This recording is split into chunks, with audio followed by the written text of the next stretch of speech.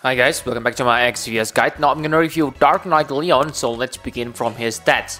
So I must say his stats is a little bit strange because like you can see that his normal form has plus 6 times chain damage modifier but his Brave Shift doesn't have that okay and his Brave Shift doesn't have true double hand option. So yes be careful when gearing him. And like you can see that his normal version is really nice okay? He gets uh 200% true dual wield so it is very high.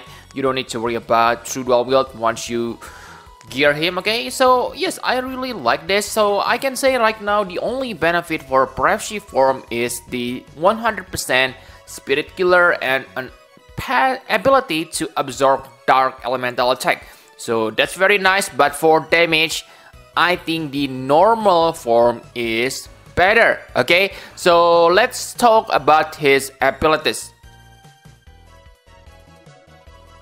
On the normal form, he is an absolute mirror of Equity Chainer, but the problem is he doesn't have permanent triple cast. So you need to use an ability to unlock his triple cast. Luckily, if you awaken his latent abilities, then he gonna has per, uh, triple cast on the first turn. Okay, on the first turn, but that's useful to unlock. I mean to use his setup abilities. Okay, so pretty nice. I have said that he is kind of locked to Dark Element, but on normal form, he is not. Sure, he has Dark Elemental attack, but he also has non-elemental attack. Okay, and like you can see on the table here, it is quite nice. Dark Knight Charge. It deals 72 times damage per cast, so it is al almost on par with the lock dark elemental attack. So it is not a problem if the enemy resists against dark. You can simply equip uh, let's say fire or water weapon on your secondary hand okay? So to be able to deal an elemental which gonna benefit you. And if the enemy weak against dark you can imbue one of your ally with dark element so this is really nice for other mirror of equity chainer because like you know that on uh, Neo Vision character usually kind of locked to one element okay? So this ability to be able to imbue an element to ally is really good. And he can also become your backup breaker because he can break 75% all stats for single target and this lasts for 4 turns and also has 4 turns cooldown. So as long as the enemy not dispel the break. I can say that he probably can become your main breaker. So very nice. And he also able to give your allies 100% dark resist except himself. But I think this is kinda strange because he cannot absorb dark damage on this form.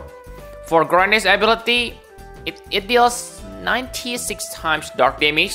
So it is a little bit more powerful compared to spammable dark elemental attack but yeah it also imperil 120% dark resist on the next turn. But again for this dark resist, dark imperil you don't need to rely on this because you can use uh, dark corruption or whatever. I forgot the name yes dark corruption to imperil enemy dark resist right on the right on that turn. So this is basically to maintain your Dark Imperil because Dark Corruption damage is not that high. And for Limit Burst, I can say it deals nice damage, but mm, I don't think it's worth to use this because your normal abilities are simply better. So enough about normal form, now let's talk about his Brave Shift form. So his Brave Shift, I think it's worse Okay, first reason because all of his offensive moves, Mirror of Equity Chain, are locked to Dark Element. So this is not a bad thing if the enemy don't have uh, Dark Resist, okay? But another problem is this form doesn't have uh, Dark Imperil. So really, what?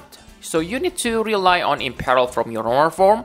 That's okay, but again, the biggest problem is this form doesn't have plus 6 times chain damage modifier.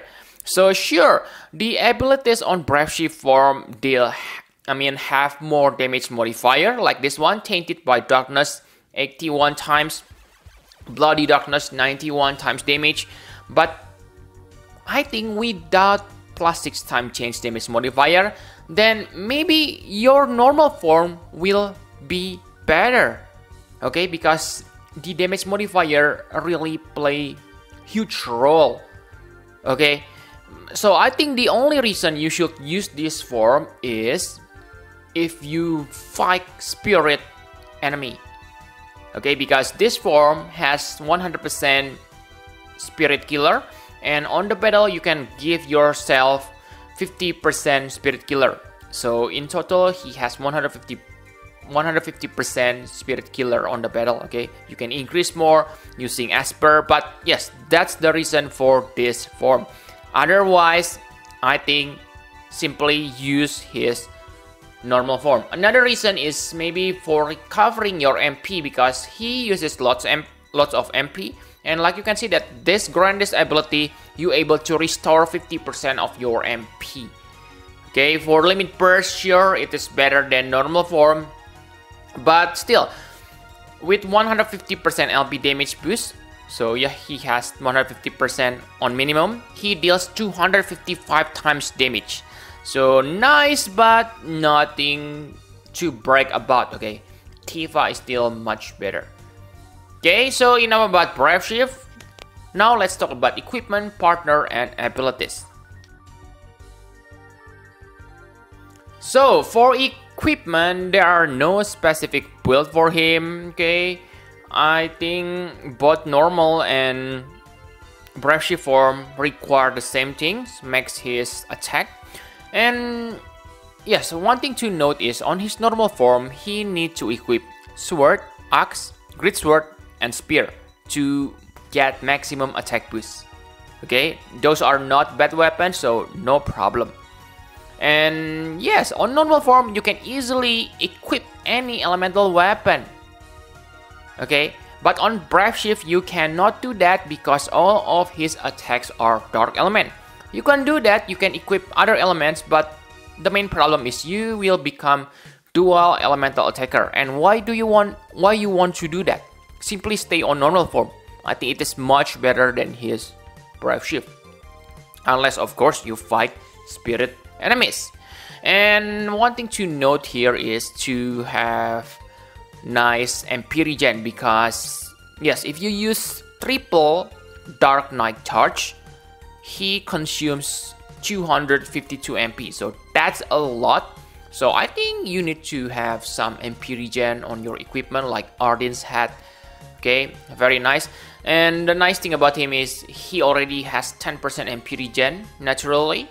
So yes it's already nice MP regen for partner of course you want to partner him with mirror of equity chainer like awakened dragon Akstar. And Awakened Dragon Akstar is really nice because remember, he can imbue Ice Element to all allies, so yes, Dark Knight Leon gonna get benefit from that. Okay? And for abilities priority, I must say that mm, the most important ability is Ambition of the New Emperor. So this will make your Dark Knight charge damage high. Okay? So it allows you to become flexible mirror of equity chainer. Because yeah, if you use other element than dark, then you're gonna spam that dark knight charge. And dark corruption is nice for dark elemental attack. Okay, use this if you really want to use dark elemental attack. Dark corruption too, okay. And I think his brave form, mm, like I said, I don't like it, okay, except for fighting for spirit. But the most important is Bloody Darkness because it is really strong, 91 times damage. Okay, for uh, single target. But if you need AoE attack, then Tainted by Darkness. It is less powerful, but still it is AoE, so it's good when the situation allow need you to use AoE attack. and power of Dark Knight. This allow you to absorb dark elemental attack. Okay, but I think this is really useless. Why I say like that? Because remember, if the enemy use lots of dark attack, then there is high chance the enemy gonna resist against dark. But on his Brave form, he is locked to dark elemental attack. So what's wrong? Okay, but let's say if the enemy use lots of dark attack and don't have dark resist, you are good to go. Okay, so enough about those things. My conclusion for Dark Knight Leon. So I can say he is the Sand Mirror of Equity Chainer. Okay, he can become your backup breaker, but I think if you really need um, backup breaker and then chainer, then Lauren is much much better. And of course, you may argue Lauren is insane breaker, but remember we also have Veritas of the Dark.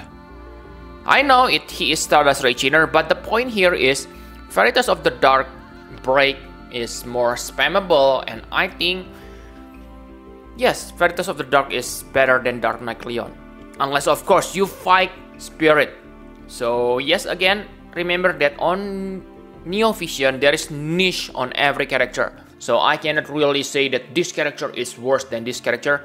But on general situation, Dark Knight Leon is really not that special.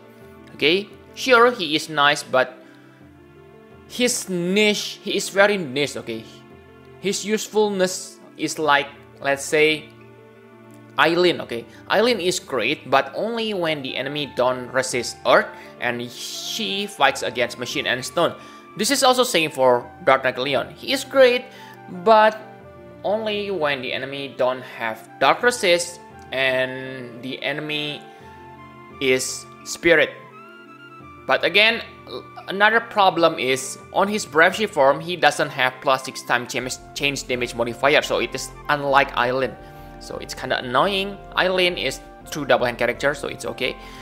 Okay, and for Trustmaster reward, I can say it's nice for your yeah for any character who need 10% uh, physical evasion to reach maximum physical evasion. Okay, really nice, but yeah, for STMR, I don't think it is that great.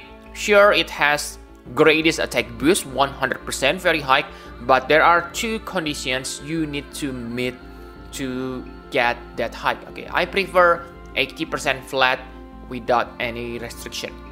Okay, so yeah, I think that's all you need to know about Dark Knight Leon. Thank you very much for watching. Please hit the like button and subscribe to my channel for more Final Fantasy Brave Exvius guide. Bye bye guys.